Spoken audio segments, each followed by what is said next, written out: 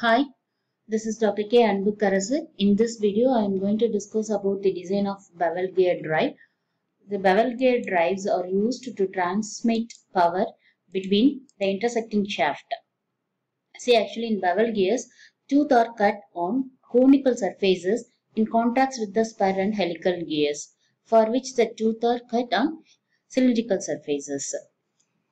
Here the tooth are cut on the conical surfaces.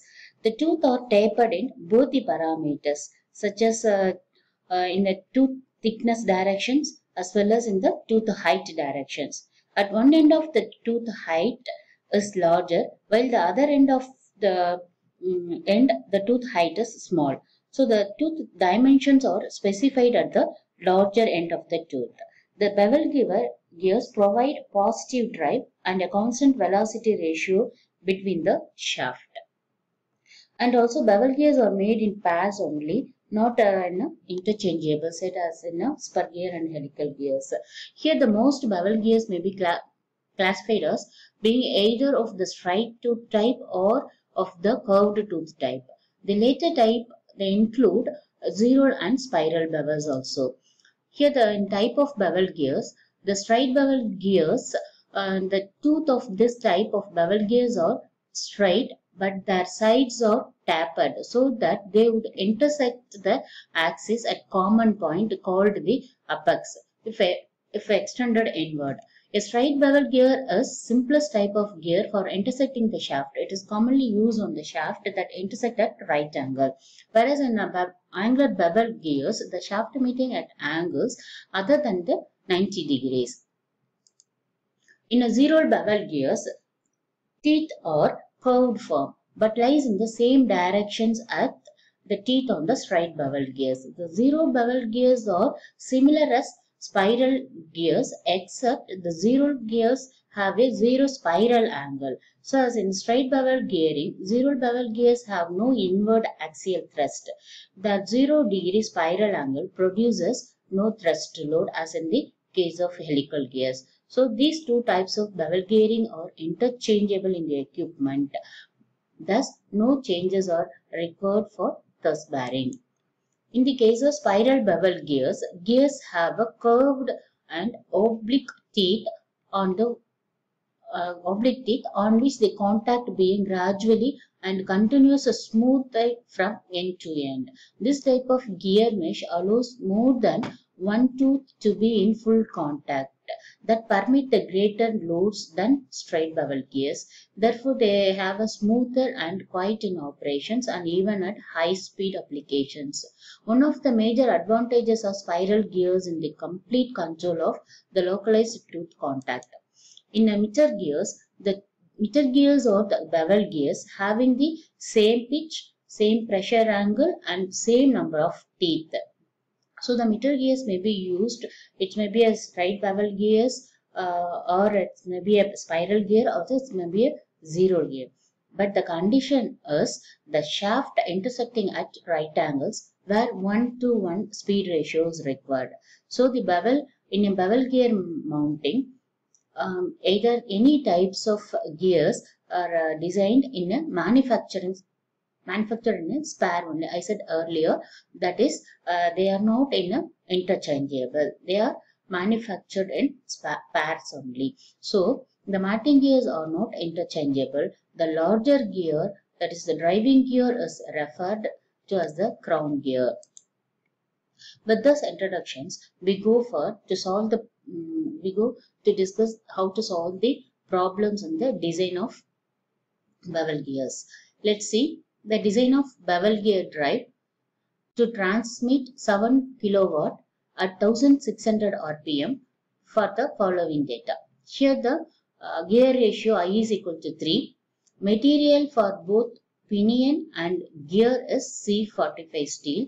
Life period time 10,000 hours. With this data, by using the basic data books, we can solve the solve and design the bevel gear drive. First, write the given data. Power P is equal to 7 kilowatt. Pinion speed N1 equal to 1600 rpm. gear ratio I is equal to 3 by using the uh, gear ratio relations that is I is equal to N1 by N2. So from this we can find out the value of N2. Then lifetime period 10,000 hours for the factor selections. Then the material here C45 steel. Here as well as in the spur gear and helical gear, here also the first step is the selection of material. So from the page number 8.5, here we already given the specified the material that is C45 for both pinion and gear. Hence we just take the values of sigma C and sigma B for the corresponding material from the page number 8.5. So it shows for the material C45 which having sigma C is 500 Newton per mm square and sigma B is 1000 or one sorry 140 Newton per mm square. Then the second step is minimum cone distance. So based on the sigma c. In previous uh, drive that is spur and helical gear, we discussed the minimum center distance between the center to center. Here we concentrated on the cone distance. Okay, so from the page number 8.13, we can take the formula for minimum cone distance such as r is greater than or equal to psi y of square root of i square plus 1 into cube root of 0.72 by psi y minus 0.5 into sigma c into e by e design mt by i. So here as usual we should find out all the variables. So from the page number 8.51 k dot kd is equal to 1.5 for unsymmetric sections.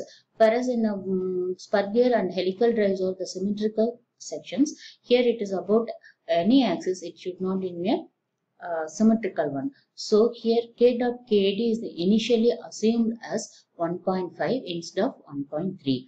Okay, so the designed twisting moment mt is equal to mt dot k dot kd.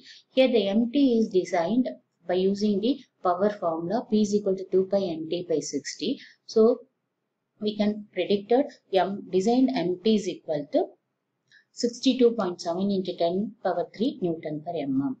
Then this is C45 is also a steel material. So the Young's modulus for the steel material is equal to 2.15 into 10 power 5 Newton per mm square.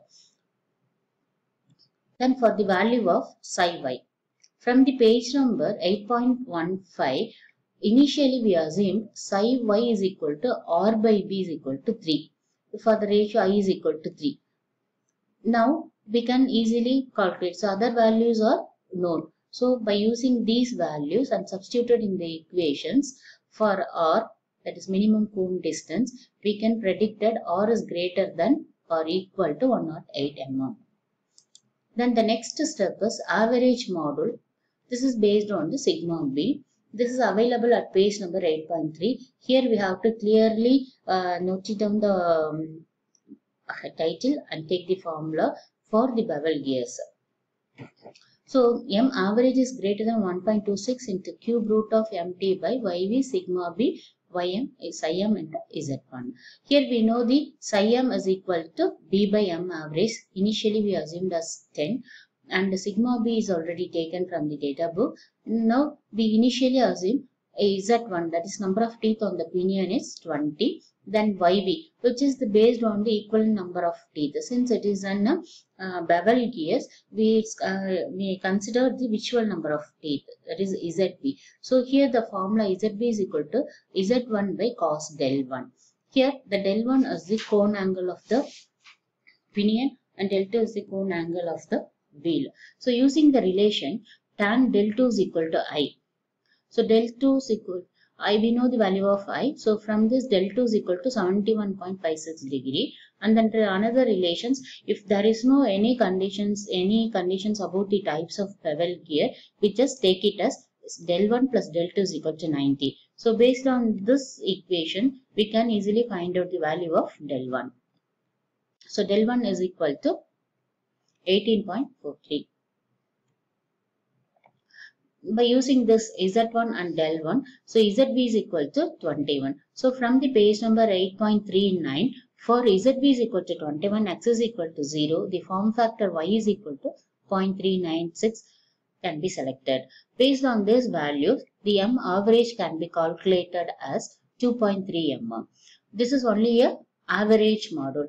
For the bevel gears, we have to calculate one more module that is the transverse module which is available at the page number 8.38. So where MT is equal to M average into psi y by psi y 0.5. So we know all the parameters. So MT is equal to 2.76 mm. Then we standardize the module uh, at page number 8.2. Now the next higher module is 3 mm. So the transverse module MT is equal to 3 mm. Then revised cone distance. So from the page number 8.38 we have the formula for the cone distance. So R is equal to 0.5 MT Z1 I square root of I square plus 1. Uh, here we know all the values uh, except Z1. So by using this we can find out the values of Z1 and Z2 since we initially assumed Z1 is 20 teeth. Now we should revise the Z1 and Z2. So by using this relation Z1 equal to 22 so that the next available number of teeth are 24. So now Z1 is equal to 24 teeth. So by using the speed uh, ratio relation we can um, find out the Z2 as 72 teeth. So the final cone distance is so the final cone distance can be predicted now by using the revised Z1. In, I mean, uh, 20, instead of 20 teeth, we go for 24 teeth. So by using this, the R can be predicted as 114 mm. So which is actually greater than the initial cone distance. So the design is safe. Then the next factor is face width. Face width is B is equal to R by Y. That is from this we can predict as B is equal to 38. Then checking of has to be checking on sigma C and sigma B. For sigma B and sigma C, we should revise the K and KD value and revise the designed MT. Okay, so here also by using the page number 8.15 and having the hardness HP greater than 350, so we should find out first D1 average. So since here it is not a bicircle it's a P D1 average, conical section, D1 average we should find out by using the relations. Then the pitch line velocity, we can find out k is equal to 1.6 from the page number 8.16. Similarly for um, kd, for the velocity v is equal to 5 and hb is greater than 350, kd is equal to 1.2. So we can now we have a revised k dot kd. So the revised mt is 80.21. Okay, now the all now we can use all the revised values. That is revised MT, uh, that's the revised twisting moment, then the revised B and the revised R value. Now we can predict that sigma C is equal to 457 by substituting all the variables and can be predicted as uh, 457 which is actually less than the designed sigma c. Similarly, the other parameters sigma b, here also we should use all the revised values, all the revised values, so mt, yv and cos alpha, all the values, it's uh, pressure angle. So we can predict it as sigma b is equal to 57.2 Newton per mm square, which is also lesser than the designed sigma b that is less than 140 Newton per mm square. Hence the design is safe. Similarly, in other gear drives, here also the other parameters of the bevel gears have to be predicted. The formulas for those parameters are available at page number 8.38.